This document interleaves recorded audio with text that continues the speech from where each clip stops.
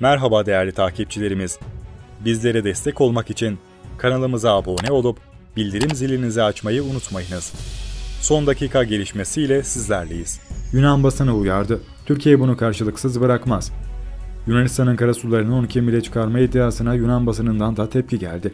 Yunan gazetesi Atina'yı uyararak Türkiye'yi bunu karşılıksız bırakmaz dedi. Türkiye-Yunanistan gerginliğinin baş meselesi olan Yunanistan'ın karasularını 12 mile çıkarma iddiaları Yunan basınında da yer buldu. Yunan gazetesinde yer alan haberde Atina'ya Türkiye uyarısı yapıldı. Haberde Yunanistan hükümetinin sıkıcı televizyon kanalları gibi olduğuna dikkat çekilerek Yunanistan aynı peri masallarına devam ediyor denildi. Ayrıca Yunanistan'ın uluslararası alanda kabul edilmiş bir süreç olmadıkça asla böyle bir genişletme adımına da gitmeyeceğinden bahsedildi. Haberde Yunanistan gerçekten böyle bir şey planlıyorsa bunu parlamentoya taşır, partilere ve özellikle de yabancı büyükelçilere sunar. Böylece destek alır. Ancak böyle bir şey olmadı denildi. Haberin devamında Yunanistan böyle bir hamle yapması sonucunda Türkiye'nin bunu savaş sebebi sayacağı söylendi. Haberde Türkiye bunu karşılıksız bırakmaz uyarısı yapıldı.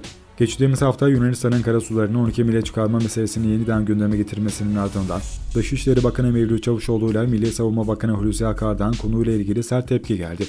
Akar, karasularının 6 milden yukarı çıkarılmasını kabul etmiyoruz. Bu konuda yanlış bir adımın ciddi sıkıntılar doğuracağını herkesin bilmesi lazım. Komşumuza unutmayın yanlış hesap Ankara'dan döner diyoruz dedi. Bakan Çavuşoğlu ise Türkiye'nin Ege ve Doğu Akdeniz'de hak ve çıkarlarını korumaya devam ettiğini belirterek Yunanistan'ın Ege'de değil 12,1 mil dahi genişletmesine izin verilmeyeceğini vurguladı. Çavuşoğlu, meclisimizin bu konuda 1995'te aldığı karar nettir ve halen geçerlidir. Yunanistan'ı bir kez daha uyarıyoruz. Arkana almaya çalıştıklarına güvenerek sahte kahramanlık peşinde koşma, maceraya atılma. Sonu sizin için hiç iyi olmaz ifadelerini kullandı. Kıymetli takipçilerimiz, bir haberimizin daha sonuna geldik. Bir sonraki haberlerimizde görüşmek üzere.